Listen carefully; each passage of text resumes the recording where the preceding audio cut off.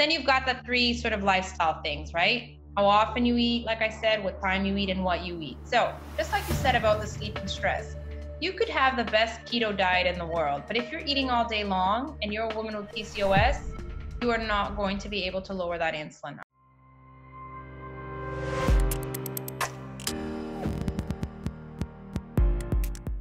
Dr. Nadia, welcome to the Keto Kamp podcast. Thank you, Ben. I am so excited to talk all things hormonal health and keto and fasting and just all the great things you're doing. And we'll get to that for sure. But share your amazing story with my audience. Deep dive into why you are doing what you're doing these days. All right, you asked for it. So um, I love talking. I've often said this before. My husband jokes that I'm in my element when I do uh, any talk related to my work. Um, so you've heard me talk before. We've, we've talked a little bit about this. I work currently and have since 2016 work for the fasting method by IDM with Dr. Jason Fung and Megan Ramos. And I started working with them because I met Dr. Fung at a conference and I was very passionate about what they do and what I do. And um, to my luck, I was living in Toronto at the time. I'm, I'm, I was raised in Toronto and I started working with them in the clinics. So leading up to that, uh, I graduated from the Canadian College of Naturopathic Medicine. Wow, a while ago, way before that, I guess 15 years or so before that. And um, in between meeting Dr. Fung and graduating from the naturopathic college and becoming a naturopathic doctor, I lived in my home country. So I was raised in Canada, but decided to move back to my home country that I left when I was one years old. So um, 24 or 25 years later, I decided that I wanted to start my career in Mozambique, which is where I am originally from and why you and I were having a little chat about um, the fact that I speak Portuguese. So I'm from a, a former Portuguese colony, just like Brazil. Uh, Mozambique is also a former Portuguese colony, and so the, the, the official language there is still Portuguese, hence why I speak uh, the language. So big passion for my home country. Once I graduated, I decided that I wanted to go back. And uh, funny thing about karma uh, life, right?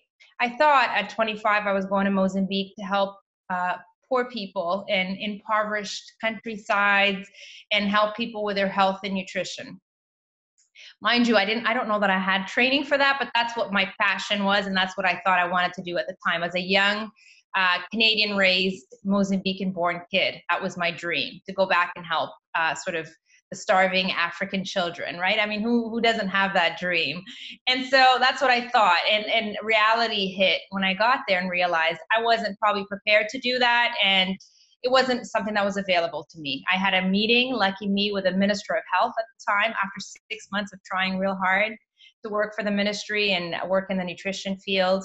And, you know, he looked at me and he said, I think you would be best served to work in the city and help the people in the city that probably want to come see you for weight loss. And I was like, what?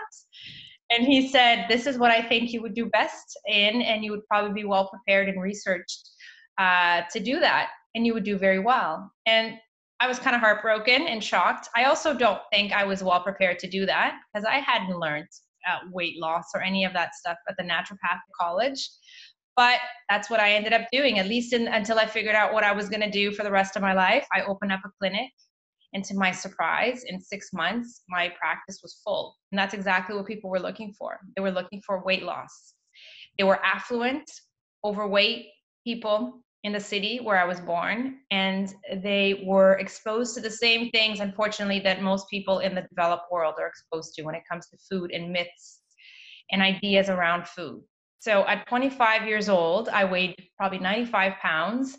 I started working with people about and, and trying to help them lose weight. And I always say that Mozambican people and all the people, uh, the expat community in Mozambique, are wonderful, forgiving people because they were willing to be my guinea pigs because I really knew nothing about this. So I didn't have any real myths or any real misconceptions about weight loss. I just, I think I knew nothing. I knew quite a bit about health, believe it or not. At the Naturopathic College, we have this great training in health and disease and pathophysiology and um, all these other things, but I knew nothing about diet and weight loss and obesity medicine or anything else.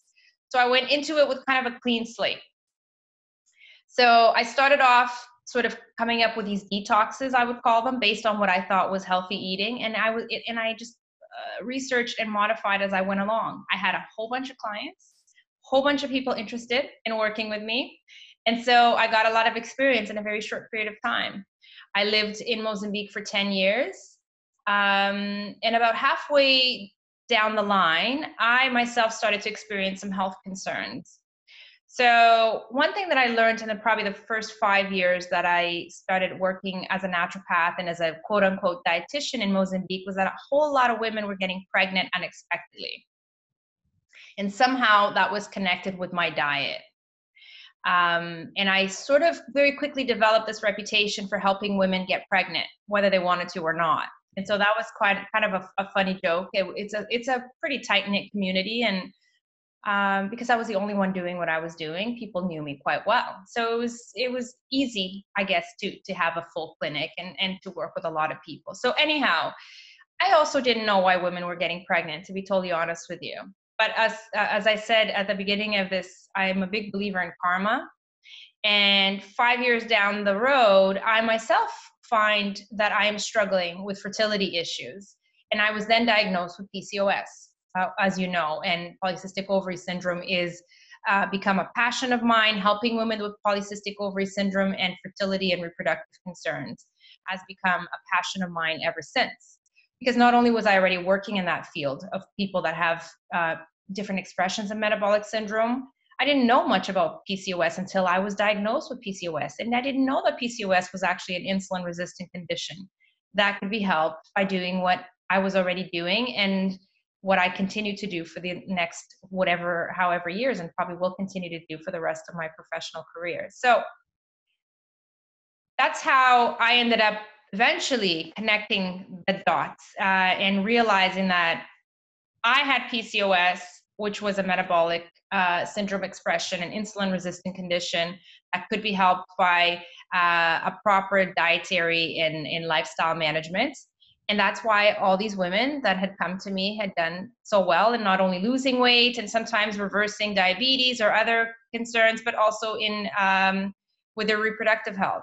So at the very beginning of my pcos journey of my personal pcos journey i hadn't yet connected the dots. And so the only thing that i knew is that my diet these detoxes that i had been given people um, helped some women get pregnant so certainly it was going to help me get pregnant. And because i like i said to you i was very thin young woman not for any good health reasons just because i think genetics and because i was a very poor and picky eater i was a very thin child grew up into an extremely thin adult um, and so pcos came as a bit of a shocker to me i now know that of course you can have pcos if you're a lean woman you can have diabetes if you're a lean person um, insulin resistance and, uh, affects people in different ways and different expressions, right? Obesity is not the only one, although it is. Uh, uh, insulin resistance and hyperinsulinemia is common to all of these people, people with PCOS, diabetes, and obesity. And that's why so many of us that look so different uh, follow this lifestyle uh, together and, and really why we can help so many people. So eventually I did connect the dots. But at that point, all I knew was that the diet that helped some women that were overweight become pregnant might help me. And so I followed it. So I followed this very strict low carb diet. And when I tell you strict, I mean, I was probably as strict as can be. Women, uh, when they want to get pregnant, they really want to get pregnant. I wasn't given many other options. That was the other problem. My conventional medical doctor, my gynecologist at the time, was of very little help. And I'm very happy to tell you that that has changed a bit. I get a lot of referrals from OBGYNs um, all over the world. I work with our, our program is an online program, so I get to work with people all over the world. I get referrals. Um, we, our program, gets referrals from OBGYNs all over the world. So gynecologists and obstetri- obstetricians that realize, recognize that women with PCOS or couples with fertility struggles would very much benefit from having their hormones, as you said, in check through lifestyle management. So intermittent fasting and, and a real food, lower carb type diet.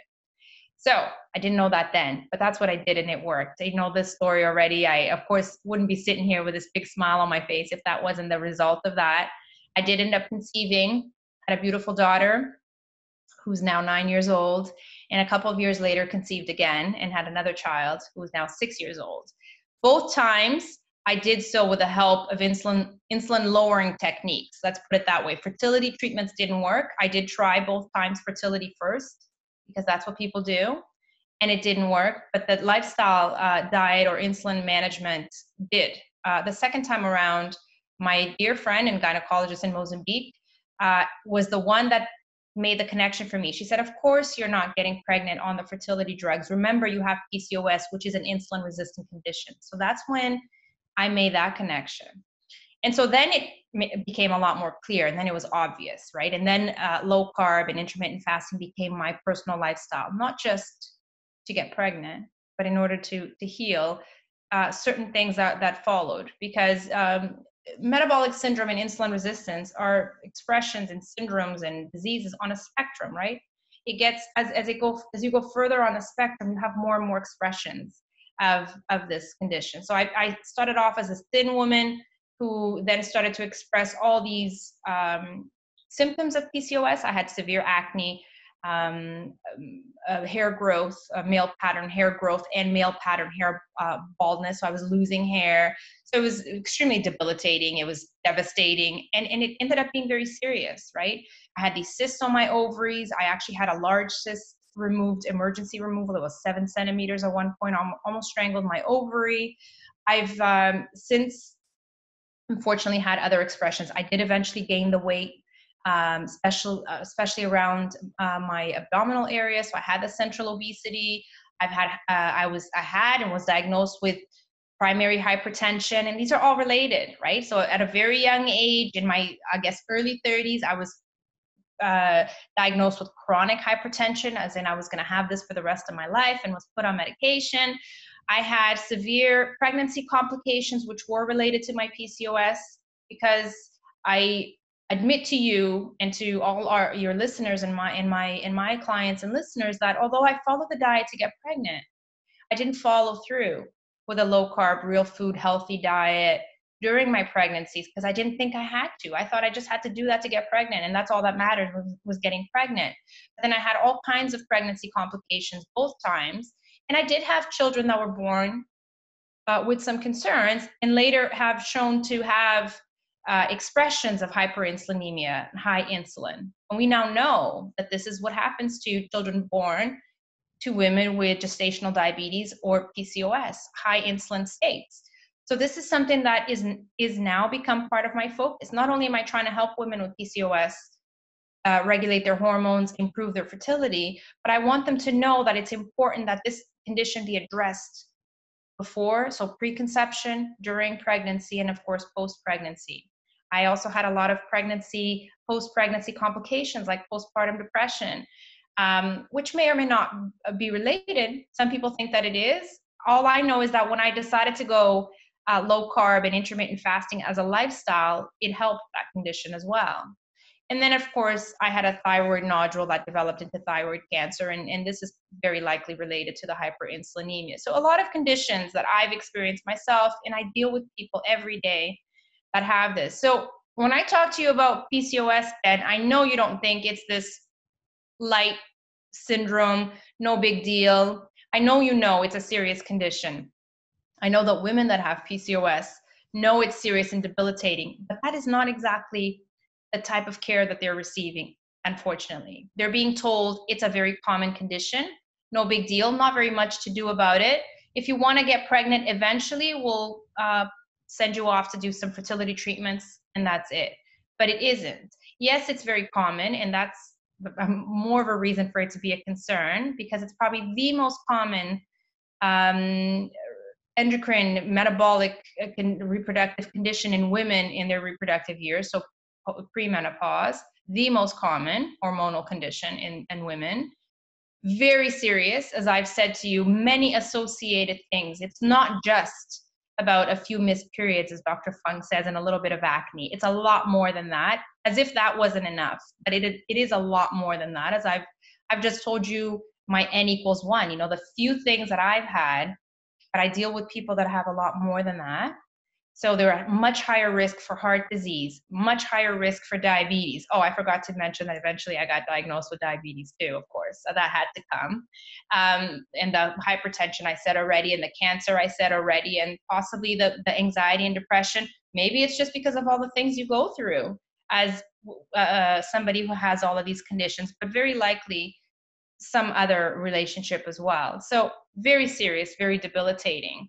Not just, as I said, because you're being at times it feels like you're being robbed of this most biological uh, right to bear children but everything else that comes with uh, it later on in life serious conditions premenopause and then postmenopause so it's pretty serious i guess i started off with a great big smile and then i got real serious yeah it's an amazing story well thank you for sharing that first of all nadia and it's it's interesting how what God does sometimes. You were your first patient, your first PCOS patient, and you fixed yourself, and now you're fixing so many other people. I agree with you. PCOS is not something to be taken lightly. It's it's not similar to, to type 2 diabetes. You know, if you go to the website American Diabetes Association, they're going to tell you it's a progressive chronic disease that we can manage and treat, but you got to kind of live with it. And that's not true. Same thing with PCOS. And like you said, the common treatment is to send you off to a fertility clinic and it might they might help you get pregnant but let's go let's start let's start right there actually. If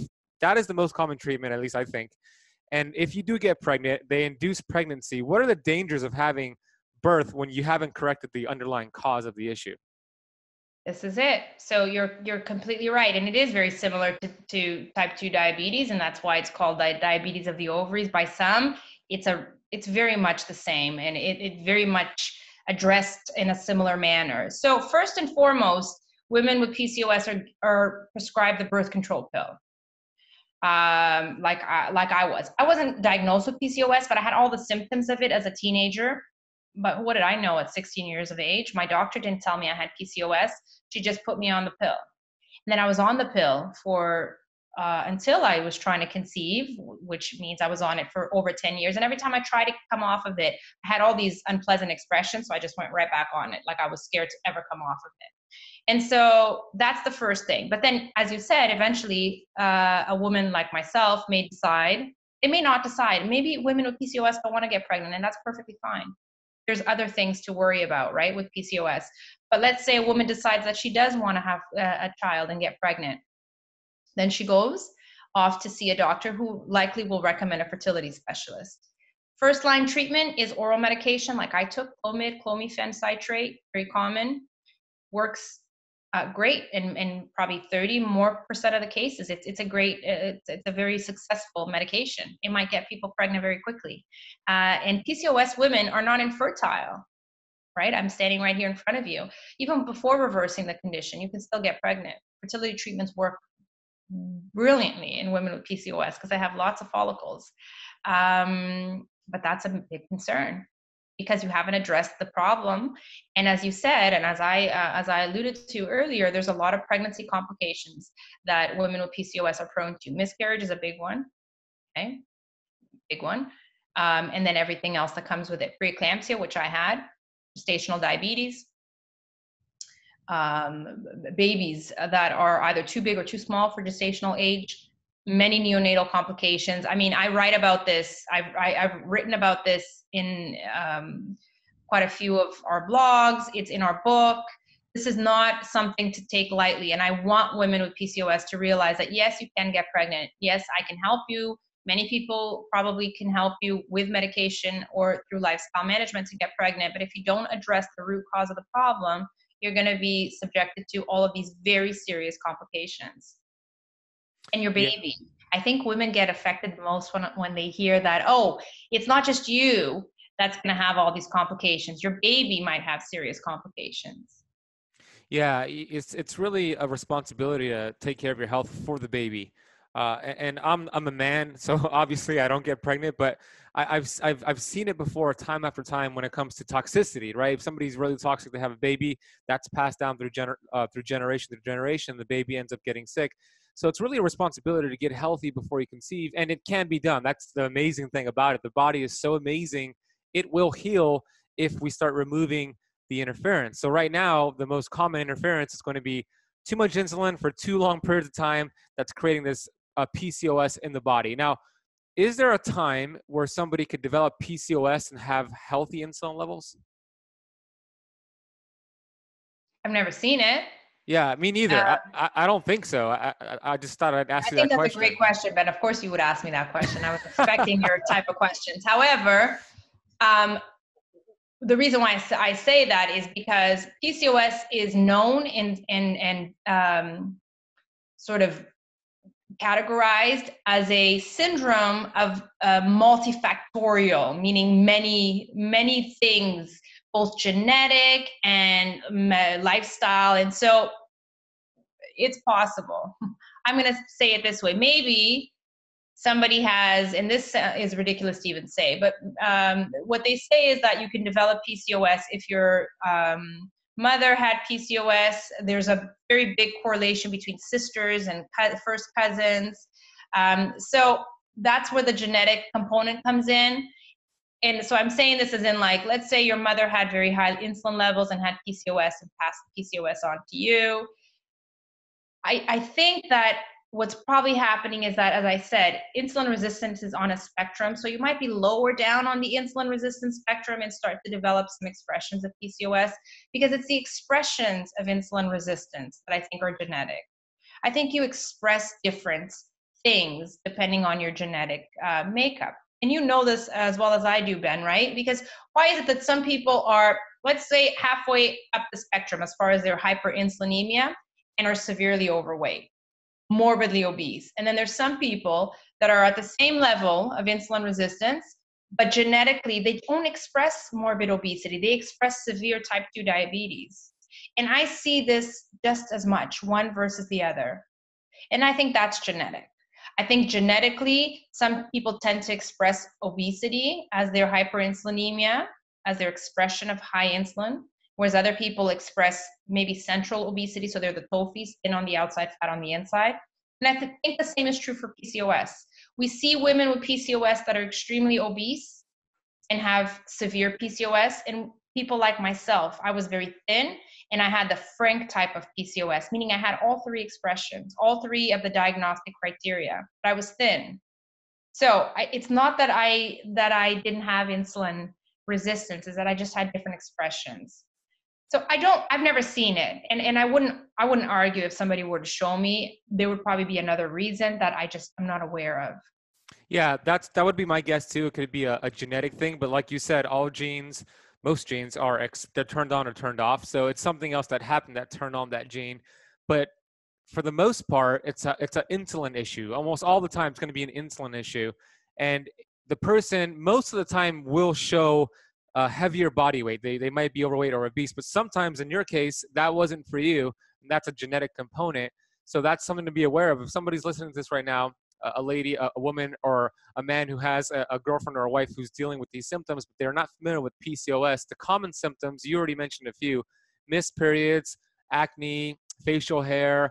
Uh, you said you also had some some male pattern, pattern baldness going on. Any other common symptoms that people should be aware of? So the three diagnostic criteria are the irregular ovulation, of course, the expressions of male hormones. So it doesn't have to be high lab uh, androgens, high male hormones on lab, because that's sometimes hard to pinpoint because hormones fluctuate so much.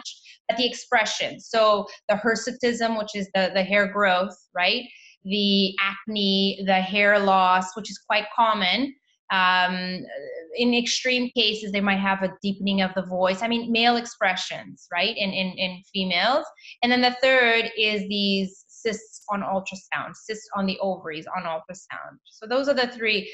The the obesity is not part of the diagnostic criteria because again, it may be there, it may not be there. It is there quite often, in a certain genetic, uh, I guess, population, but it isn't in others. Okay, PCOS is just as common all over the world, it seems. Some countries tend to have a higher obesity rate, and some have a lower obesity rate. Okay, and so it's the same thing that we're seeing, as I said, with diabetes. Some people are overweight, some aren't. And this genetic expression that you were saying, this turn on or off, I think it's the insulin that does that right? It's if the if the high insulin is there, it gets turned on. If it's not, it, it it doesn't. Yeah, all, all, roads lead to insulin. Uh, high high levels of insulin is inflammatory, and that's where you get inflammation around your cell membrane, and that turns on the gene, like you just said. So I, I agree with you.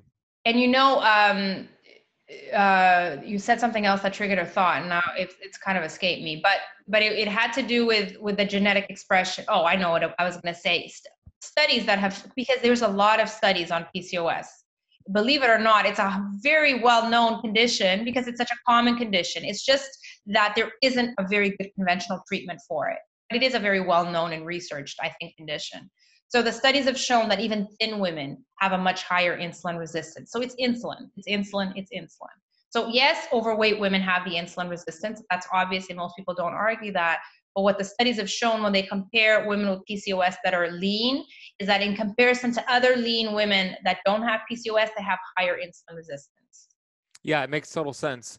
So that's where a healthy, low carb, ketogenic lifestyle and intermittent fasting come into play. And by the way, I didn't mention this uh, during our interview. I mentioned I'm going to mention in the intro, but you're coming out with a new book. What's the title of your new book? And tell us a little bit more about it, and then we'll get a little bit more into PCOS. That's right. So in April of 2020, April 14th, if I'm not mistaken, our book is coming out. It's called The PCOS Plan. And I say our book because I uh, was privileged to write this book with Dr. Jason Fung, who many uh, people know. Um, he's the author of the Obesity Code, the Diabetes Code, the Complete Guide to Fasting, the Longevity Solution. Now he's come out with the cookbook with Megan Ramos. And so he was, um, I don't even know what the word is, kind enough is not the right word, but he wrote this book with me. And so it was an amazing experience. It was amazing to be able to combine our work, my work, and his work together to bring out this book to not only, uh, I guess, teach people about PCOS. Like I said, people know PCOS. Every time I do a talk, I ask people to raise their hand. How many of you have heard of PCOS? Everybody puts their hand up. It is that common. Men know about PCOS uh, because, like you said, they have a girlfriend, a mother, a sister, a wife, somebody that they know that has PCOS. They might not know what it is, but it's yeah. common. Yeah, for me, I was going to say before I got into the health space, or actually, I wasn't. I was a personal trainer several years ago, ten years ago. I kept hearing about PCOS even back then, but I didn't even know what it was. You know, of course, I understand it now. So you're right; it was common back then. It's still common now, and they're still getting it wrong in terms of the way it's treated in the conventional sense. The fact that Dr. Jason Fung, who's been on the podcast before, the fact that he said, "Hey, I want to write this book with you and invest time and research into PCOS," is it speaks volumes because there's a lot of things out there that he could be writing and researching about, and he chose to do this with you. So I hope the audience hears that and, and knows that this is actually something that is serious, especially if you don't take care of it. Uh, and I know Dr. Fung's researching cancer. He's coming out with another book on cancer in the future. So this is something that is in line with what he wants to research, and obviously what Nadia wants to research as well, because it's that important. So let's go back to how a ketogenic lifestyle and intermittent fasting can help somebody with PCOS. That's right. That's that's totally it. It is important, and, and we are addressing it. Um, so how? It's it's actually quite simple and repetitive. and I often say to people, if I'm too repetitive, it's a good thing. It means this is not rocket science. It means you and I and everybody else can do it. I, I every day I get people call me um, I get a lot of PCOS women call me, of course, as you can imagine. And every day they say, Well, have you ever been able to help somebody like me? Everybody always thinks that for some reason they won't be able to get help, but it is that simple. It really is about, as Dr. Fung says, if the problem is insulin, the solution is to lower insulin. And we know how to lower insulin. You eat less often and you eat less of the things that raise insulin. And we're pretty clear on what that is. So it's about really empowering people with these um, just repeating this over and over, kind of like what you do, right? It's like keto, low carb, real food, um, and, and a really proper intermittent fasting schedule. I really focus when it comes, there's really five pillars that I tell people about all the time how often you eat, what time you eat, what you eat, and then stress and sleep. I, I, I, because I say this in such a repetitive way, I often say strep I'm trying to say stress and sleep all at once, and I'm like saying, but these are the five pillars, in my opinion, to to managing insulin and lowering insulin. And so that's the same thing for a woman with PCOS as it is for um, I don't know a man with type two diabetes and another person with uh, obesity. Yeah, I love that. I love those five pillars because when you are chronically, let's say, sleep deprived, you have chronically high levels of cortisol, which means you have high levels of insulin, which is the problem right there. So you could be eating keto perfectly, doing intermittent fasting perfectly, but if you don't have those two other pillars, pillars that you mentioned, which is the sleep and the stress, well, it's just not going to work uh, because cortisol will raise insulin even if you're not eating anything. So that's so important to understand. And yes, it's about repeating this over and over and over before they actually get it. It's going to take consistency and follow through to allow the body to heal. It's not going to happen overnight. It took years for your body to get this way or to get these symptoms. And now we focus on health and the symptoms will go away as a side effect. And insulin is, is huge because insulin is the, I call it the, um, the bully of the block. When insulin is activated, we all of our fat burning hormones they're gone they're scattering and we're in this storing fat state and then a lot of problems occur and in this situation we're talking about pcos and your book is going to have detailed chapter after chapter on how to deal with this and what exactly uh, more custom to the person who's dealing with it. But are there a couple of things you can share some other nuggets besides what you've shared already when it comes to pcos that are that are from your book? Absolutely. But again it's repetitive and it's simple right? The problem is we're human. And so we tend to want this all or nothing sort of thing. And because we can't sometimes be as consistent as we wish, we fall off, as people say, and then we never get back on. But the trick is to every time you fall off, dust yourself off and go again because it's really the same thing over and over again. You're right about what you were just saying. You know, you can uh, do all of these things, but then if you're chronically sleep deprived and chronically stressed, it's not that we're telling you to take away your stress, that's impossible but stress management, you know, doing adequate uh, techniques and therapies to deal with stress management, sleep hygiene. People very often disregard sleep, especially in this day and age, right? There's all these gadgets and people stay up all night and they they a lot of millennials and young people think they don't need to sleep or they just have this deranged sleep cycle it's that's not going to do you good i know a lot of people say oh i can live without sleep you think so, right? But on the inside, so you have to address this. Okay, you do have to sleep uh, and enough, sleep enough, quality, good quality sleep.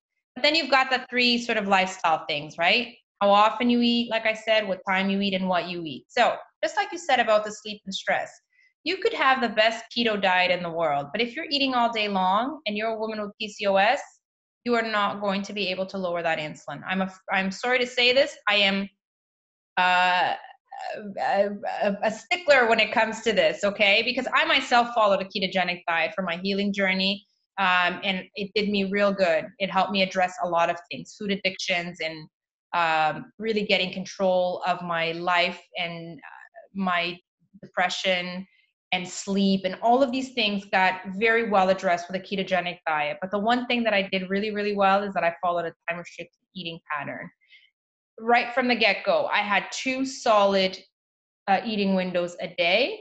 This is before I knew about intermittent fasting. So I yes, I've done many other fasting schedules, but I, I, I did this before I even got into extended fasting, and I got pregnant with these, and and really this was the key thing was to eat in a time restricted eating pattern. No snacking, no binging, no grazing, none of this. You need to figure out whether you call it keto or not, you need to figure out a real food, lower carb dietary approach that you can eat rich meals, satiating meals, and tight uh, eating windows, and you're able to eat and walk away. Okay. In between meals, your body needs a rest. It needs a rest from all kinds of stuff. Okay. Not just food. Uh, it needs a rest from flavored waters. It needs a rest from cream in your coffee. It needs a rest from all kinds of gum it just needs a rest, okay? Between meals, I think you should be having water and possibly some herbal teas, maybe, or black coffee. I will I'm a coffee addict. I drink tons of coffee. I love coffee.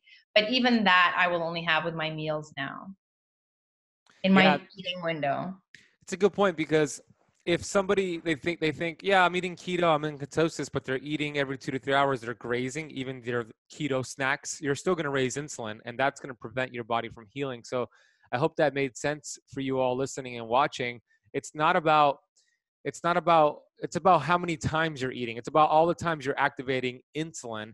It could be the healthiest snack in the world, but if you do it right and you have your shortened eating window, maybe it's 4 hours, whatever works for you, and you have those meals until full, having protein and fat and letting those hormones activate that let you know you're full stop eating that'll be enough to hold you over until your fasting window's done you could have your water you could have your your uh, tea i guess yeah like like nadia's water. drinking right now i have my water here as well so that those are powerful powerful tools and you're right it's nothing that's not rocket science but it's a matter of actually following through with it let me ask you this in your book or in your practice do you talk or do you implement block fasting for the for PCOS?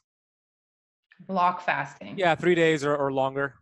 Extended fasting. Okay. Yeah. Um, you know, it's a tool. It's a, a tool that can be used strategically. It's not. It's not my preferred method. It's not my go-to method. Although I think that it's a tool that can be implemented if, if, if, as Dr. Fung would say, it's a powerful weapon and it has two, you know, it's got two edges. So you have to know how to use it appropriately. But yes, I, I have seen it work very well in certain cases. Um, remember that when you're working with women that have fertility challenges, they want to get pregnant yesterday.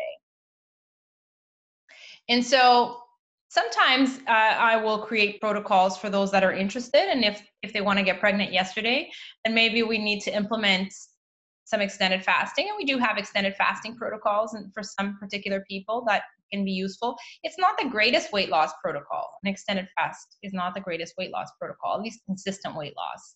And so it's not even something that we use for weight loss that often, but it can be used strategically. So, yes. I agree. I agree. It's a, it's a great tool for getting more autophagy and allowing the body to keep insulin low, but it's not necessarily uh, the best weight loss tool. So, yes, health first, weight loss comes as a side effect. Uh, I have a few more questions for you, and I have uh, my rapid fire questions coming up for you as well. Let's uh, go back real quick to your book. It's called The PCOS Plan, coming out April 15th, 2020. So this episode. 14, I think, 14. or 17. What did I say? So sometime in April. okay. Can they go somewhere to pre order it right now? Yes, it's on Amazon. You can pre order. We'll put a I link. Send you the link. Yeah. Yeah, so send me the link. We'll we'll put it in the notes of this podcast because this will be out before April uh, go pre-order it. I mean, especially if you have PCOS or, or gift it to somebody who has PCOS, and most people that you know, a lot of people that you know might have it because it's so common. What was your favorite part about writing this book, Nadia? Hmm. That's a good question. Um,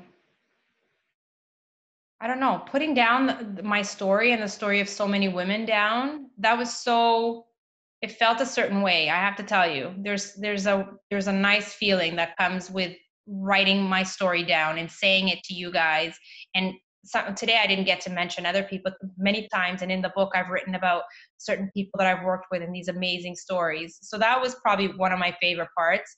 I like doing the recipes. Um, because they're simple and they're foods that I really enjoy.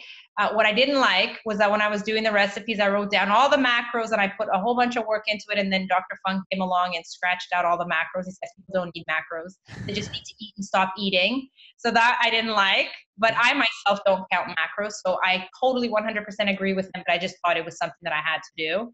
So I didn't like putting a lot of work into that and then scratching it out. uh, but that was um, it was wonderful. I really liked how challenging it was because writing with Dr. Fung is an experience. He is a good uh, to say good is he's an amazing writer, but he's an amazing thinker. So the way he sees things and thinks of things, and he challenges you to your max.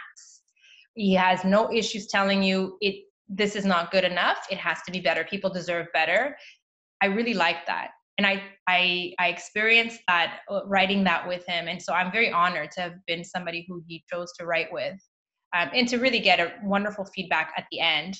But during uh, the writing, um, he was he was very challenging, which I appreciate. Yeah, Dr. Fung is is brilliant. Uh, such a, such a master at what he does. He's he's a a genius, that's for sure and, and you are too. You're a genius because you're helping people. You're empowering them to be geniuses and prevent problems instead of being an intellectual who solves problems like einstein says. So your book's coming out and uh, i can't wait to read it myself. So you said back in 2016 is when you actually linked up with uh, dr fung at a conference. How did that go? It it's it's a funny story and i tell the story all the time and he kind of laughs. But Um, I had written to him quite a bit. I not quite a bit. I, I wouldn't say that I stalked him, but I I joked that I did. I wrote to him a few times because I had come back to Toronto. Uh, I had I as I said I lived in Mozambique for ten years. My second child was born in Canada. I, I, I returned to Canada when I was pregnant with my second child, and then I was on extended mat leave. I will admit, uh, well deserved extended mat leave. However, at some point, I wanted to go back to work and this was my this was my passion. This is what i wanted to do. I was pretty certain at that point that this is what i wanted to do. So i had reached out to him over email introduced myself said you know i have set qualifications. I am a registered naturopath in toronto ontario. I want to work with you. And he sort of wrote back to me uh, a very quick note but at least he wrote back and said we don't work with naturopaths. So that's kind of a joke that we have going on. And then i met him in san diego at a conference I was with a group of people that he knew well from South Africa that I knew well. And um, that's how we got introduced. And it was very funny because the minute that we were introduced, he looked at me and he said, I know you. You wrote me an email. And I said, That's right. And he's and he kind of uh, he kind of went like this. And then on the Sunday, just before we went to the airport, he said, I'd like to speak with you. And I said, Okay.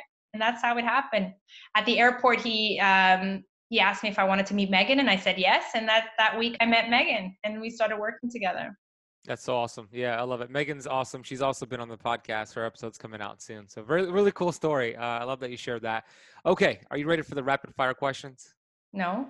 oh, let's do it anyways. Okay. what is your favorite keto food?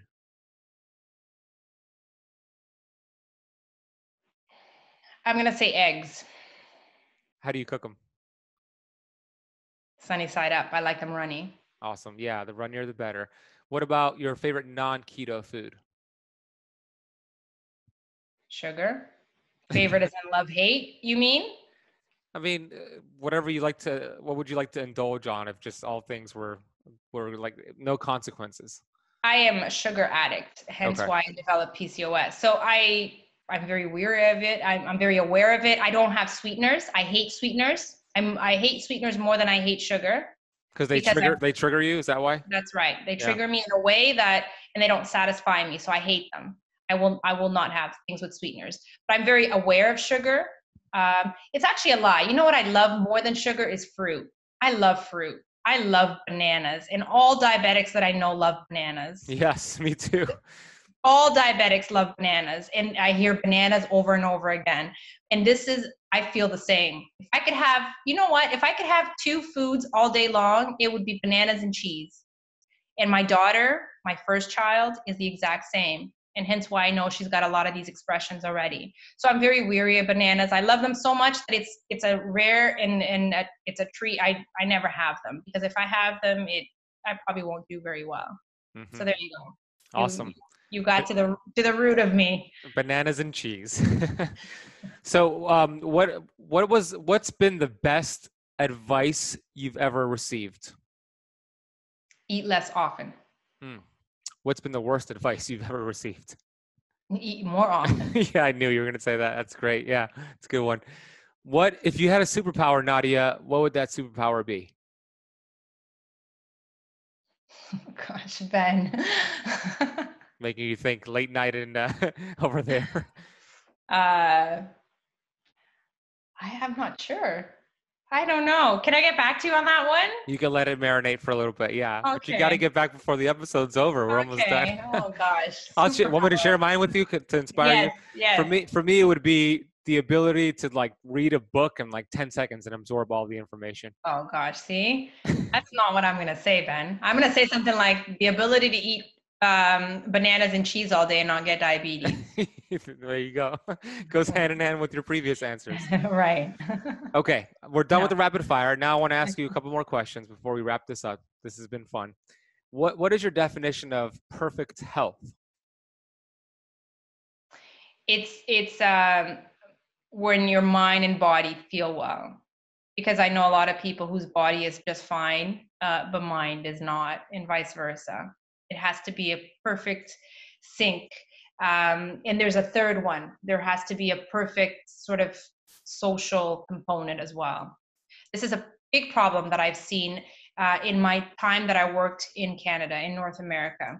There's a really big social disconnect, unfortunately, that I see becoming bigger and bigger. Not so much in my culture, uh, not so much maybe in Miami, I'm not sure, but not so much in Mozambique. People are very socially connected in good and bad ways, but they are.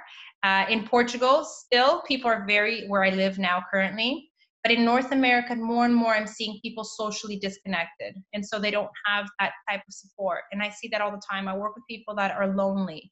And that plays a big part in, in total health as well, I think.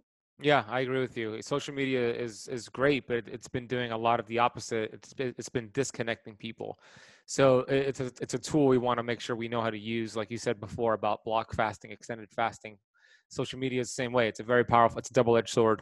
So you're right. I agree with you. Great answer. What are you grateful for today, Nadia?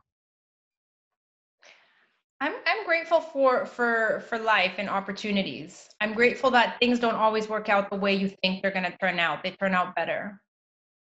They do. They do. Sometimes you can't see it until it, it's it's past and you have the hindsight 2020 vision. So yes, I agree with that. Um, what is the most exciting thing you're working on right now? I know your book's done, so you can't say that. What else is the most exciting thing you're working on? What what's the next chapter? I don't know. See this is it. But there is a next chapter that's going to be related to this. Beautiful. Well nadia this has been a lot of fun. I want to acknowledge you for the work that you're doing. I'm, I'm a fan of your work. You're uh, an amazing human being first and foremost and you're helping a lot of women and men because it's it's the relationships that you're making an impact with for sure. I can't wait to share your read your book and then share it with my audience. So they're gonna they're gonna go and, and pre-order it. All everybody listening to this right now is gonna go to the link in the podcast notes and pre-order it. And I want to say thank you for your time and for showing up in this world. You have an amazing attitude and you are brilliant at what you do. So thank you so much. That's lovely. Thank you, Ben. Thank you so much. Thank you.